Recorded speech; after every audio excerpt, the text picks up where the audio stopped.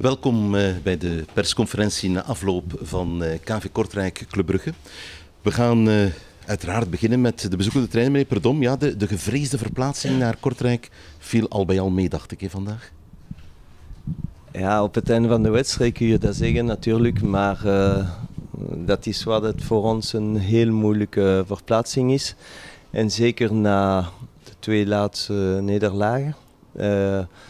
Dus de bedoeling was om, om te winnen natuurlijk, zoals altijd. Uh, maar gemakkelijk, gemakkelijker gezegd dan gemaakt. Uh, maar ik vind dat onze aanpak vandaag voor die wedstrijd klopte. En uh, zelf voor de uitsluiting dat wij heel weinig hebben weggegeven en dat wij Kortrijk niet in zijn spel hebben laten komen. Dus dat was de bedoeling hebben we heel goed gedaan. Uh, dan komt die, die 1-0, die uitsluiting. Normaal zeg je op dat moment, je denkt, uh, proberen zo rap mogelijk de tweede, tweede te maken. En man valt op een van de sterkste punten van, van Kortrijk valt de, de gelijkmaker. Dan wordt het moeilijk, je moet geduldig zijn.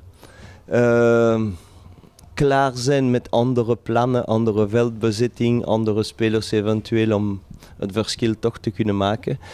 Uh, maar dan is er toch die tweede doelpunt gevallen en dan denk ik dat de wedstrijd gespeeld was.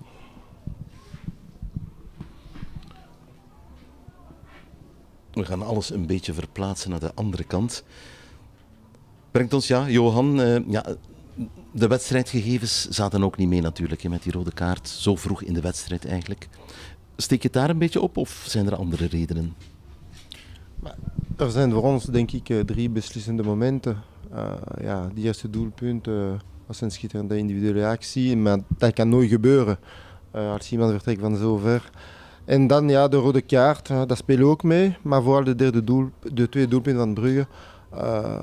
ik ben niet eens met, met, met, wat we hebben gedaan, want we moesten meer de tijd nemen en rustig de bal in de ploeg houden en zo een kansen niet weg, weggeven. En dan hebben ze de, twee, de doelpunten gescoord.